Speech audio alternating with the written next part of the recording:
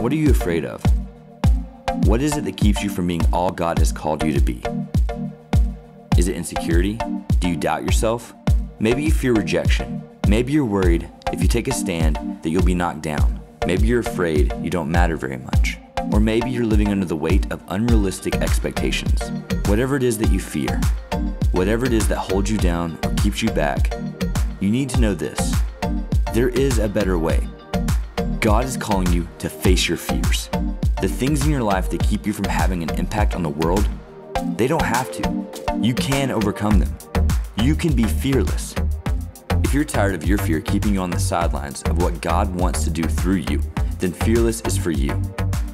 Fearless will lead you to a place where you're able to actively engage in God's calling on your life, leaving fear and insecurity behind. Fearless. Are you ready?